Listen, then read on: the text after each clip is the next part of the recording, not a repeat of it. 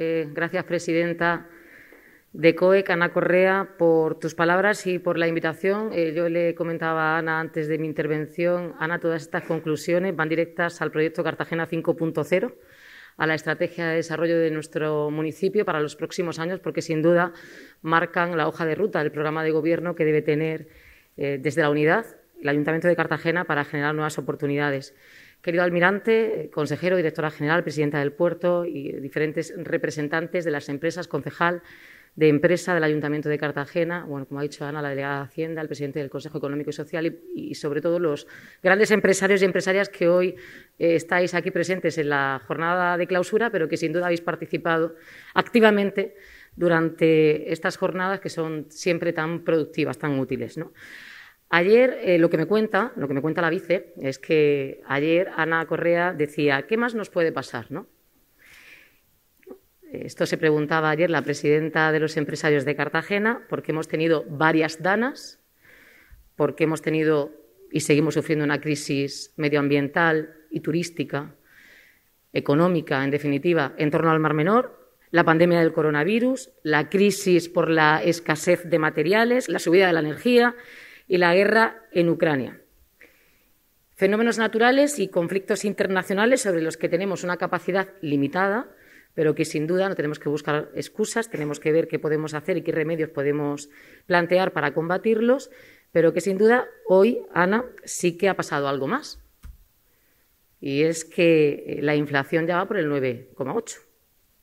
Y eso ayer no lo contaste, dijiste próximo, creo, ¿no? Al 10 en los próximos meses, pero ha pasado algo más, ¿no?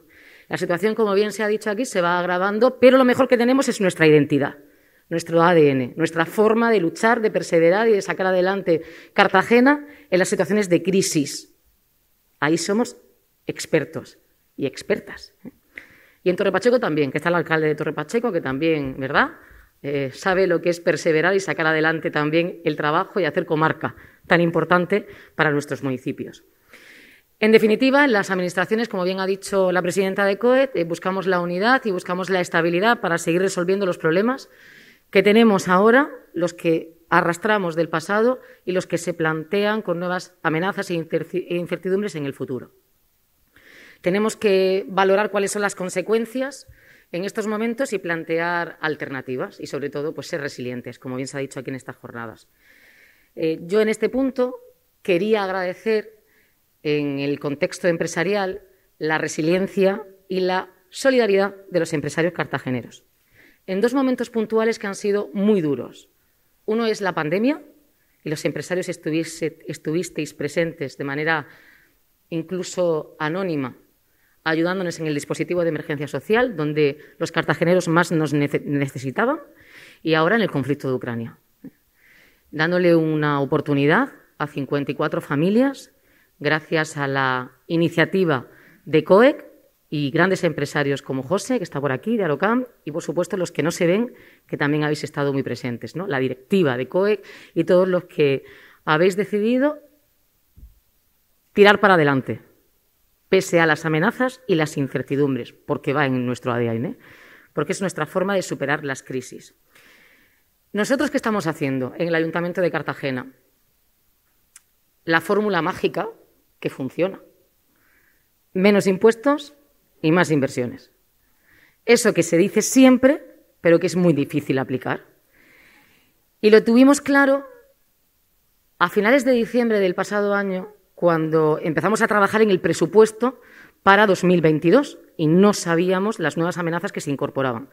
Teníamos claro que debíamos, eh, los ayuntamientos, con las capacidades limitadas que teníamos, poner todo de nuestra parte para ayudar a las familias, con el gasto social, pero también a las empresas para fomentar la recuperación económica y para generar empleo, para no poneros problemas, para agilizar los trámites, para simplificar las cosas y para que tuvieseis eh, todo tipo de ayudas dentro de nuestra capacidad para tirar para adelante. Por eso, desde el ayuntamiento, aunque también somos víctimas de la subida de los costes de la energía, nos voy a contar, ¿no? La factura de febrero de 450.000 euros a 1.200.000 euros, eh, la factura solo de febrero, para el suministro de la energía, porque nosotros encendemos al final la iluminación de todos los edificios y de todas las farolas los 365 días del año. Esa situación es insostenible para las administraciones públicas, para las familias, para los empresarios en general. Y la solución no puede ser no hacer nada. Además, las administraciones, como los empresarios, no queremos que luego nos devuelvan las ayudas, queremos que nos rebajen los impuestos y así eh, tenemos la liquidez mucho antes y suma mucho más. Como decía, también somos víctimas de esa situación energética y de los gastos extraordinarios en este tren de crisis, que lo podemos denominar ya como un tren de crisis, una tras otra.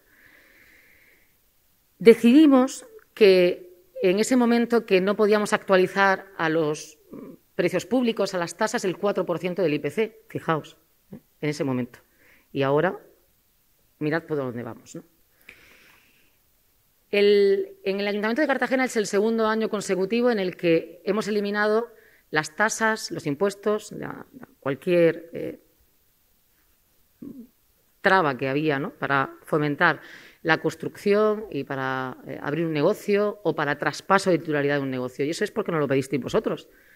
Era, de hecho, en las anteriores jornadas, era uno de los epígrafes, ¿no? Ponérselo fácil al empresario, eliminar las tasas para crear nuevos negocios o para traspasar los que ya existen. Eso en Cartagena, por segundo año consecutivo, ya existe. Además, este año decidimos bonificar el 90% del ICIO en el casco histórico de la ciudad, en el centro de Cartagena, donde tenemos todos, como sabemos, la complejidad de suelo sin desarrollar. Cualquier empresario que tenga material y que tenga suministro, ahora agravado por esta circunstancia, puede desarrollar ¿eh? una construcción en su suelo bonificado al 90% del ICIO. Y como sabéis también, durante la pandemia decidimos ayudar al sector servicios, el que peor lo estaba pasando por las restricciones sanitarias. Y tomamos decisiones que fueron importantes en ese momento para garantizar su supervivencia con la hostelería, eh, con ayudas directas, con el comercio, con herramientas tecnológicas, que por cierto, Presidenta, os vamos a necesitar para dinamizar esa herramienta, el Cartagena Market, y también eh, con nuestros hoteles, ofreciendo también liquidez en esos momentos tan complicados. Además, vamos a incorporar en junio de este año otra de las medidas que nos pedisteis vosotros, los empresarios, que eran las tarifas diferenciadas para los hoteles, los comercios y la hostelería, de manera que a partir de junio paguen de entre el 20 40% en función del hotel, el local eh, de comercio o, o la hostelería en la factura del agua, eliminando, como hemos eliminado también, la tasa de las terrazas, tan necesaria para eh, poder prestar el servicio en Cartagena una vez que haya restricciones en interiores. Menos impuestos y más inversiones, que era lo que nos pedía COEC y lo que nos piden en definitiva los empresarios. Ese es el, trabajo que estamos desarrollando. Pero yo quiero aprovechar también, y no me quiero extender mucho hoy en la intervención, pero quiero aprovechar para enumerar algunas de las cuestiones que creo que también nos hacen tener esperanza en el futuro. Y es, desde el Ayuntamiento de Cartagena, además con las administraciones más cercanas, tenemos una hoja de ruta en común.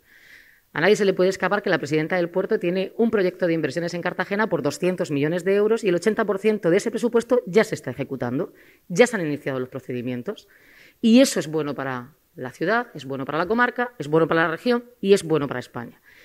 Existe un proyecto de recuperación de la fachada marítima y de integración de un proyecto del puerto con la ciudad, pero existe también un proyecto de inversiones de más de 200 millones de euros, cosa que no podría hacer el ayuntamiento jamás porque ese presupuesto es el que tenemos para todo, ¿no? 217 millones de euros. Gracias, Presidenta, por haber sido valiente y haber planificado junto al Ayuntamiento un plan de recuperación de nuestro municipio, de nuestra región y de nuestro país, que el puerto, sin duda, es la empresa más importante que tiene nuestra región. Pero es que, además, eh, desde el Ayuntamiento, pues con nuestras capacidades limitadas, hemos movilizado 17 millones de euros en obra pública, que si Dios quiere y si hay menos amenazas en adelante, pues también fomentaremos la inversión en obra pública. Y también tendremos la oportunidad de incrementarlo con el plan de inversiones de la concesionaria del agua, con 10 millones de euros en actuaciones en concreto que empezaremos a, desarrollar en junio cuando aprobemos ya todos los trámites que tienen que pasar por el ayuntamiento. Porque, como bien sabéis, que trabajáis con la Administración, los procedimientos se alargan demasiado.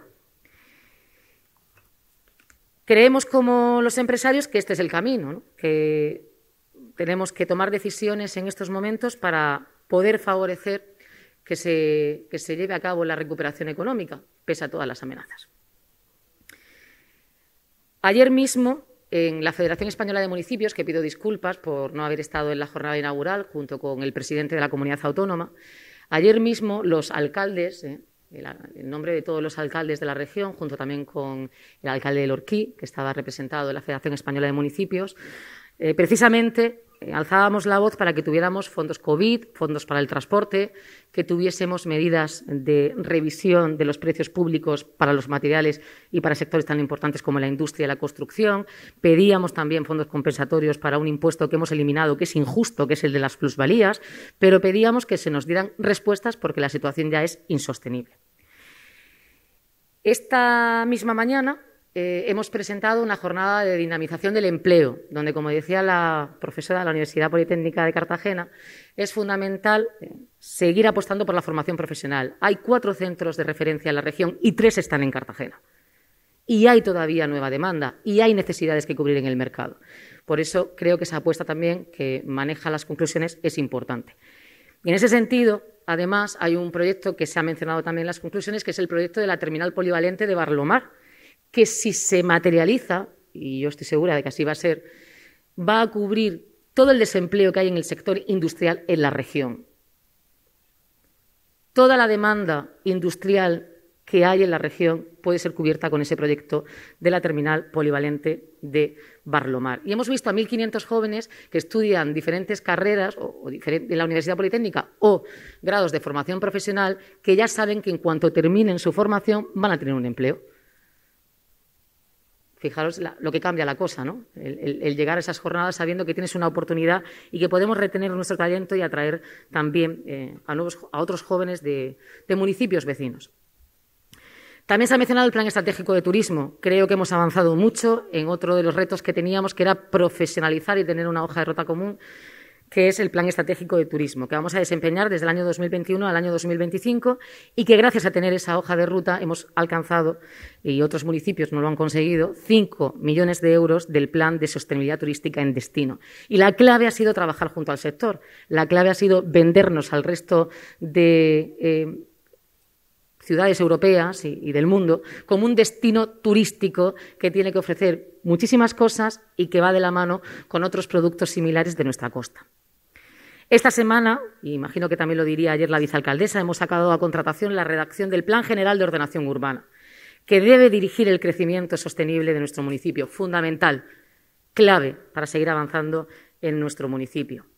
Y ya por último, pues hemos empezado a elaborar, porque es, eh, si es urgente y necesario dar respuesta a los problemas del presente, las necesidades que tenemos en este mundo que cambia cada minuto y cada segundo, es importante también pararnos a pensar y diseñar qué queremos ser de mayor dentro de nuestro municipio. Y en ese sentido hemos iniciado la Agenda Urbana Cartagena 5.0, a la que aludía porque estas conclusiones van directas a ese documento, aunque espero también que haya una amplia participación de todo el sector empresarial de nuestro municipio.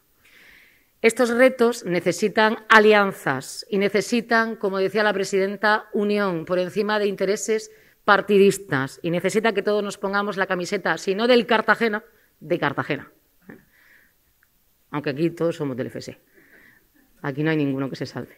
Pero tenemos que ponernos la camiseta de Cartagena porque tenemos posibilidades, tenemos todo el potencial, pero hay que creérselo, ¿no? ¿Saben lo que dicen? No ver para creer, sino creer para ver. Y más en estos momentos. Y estoy segura de que lo podemos conseguir. Es verdad que aquí se ha hablado del ferrocarril y de las conexiones tan deficientes que tenemos e insufribles. Y en ese, en ese sentido ya le hemos trasladado al ministerio, porque ya entre tanto cambio, em, y a mí no me gusta personalizarlo las personas, porque creo que es importante la relación entre las instituciones. Necesitamos con urgencia un plan de movilidad específico para Cartagena, porque hemos ido a peor, no solo no hemos despejado las dudas, sino que hemos ido a peor. Los empresarios en, en general, y ya sí que concluyo, porque he ido incluyendo algunas cosas por el informe de la profesora de la Universidad Politécnica, la profesora Badilla, los empresarios no merecen en este contexto más dificultades. No se las merecen.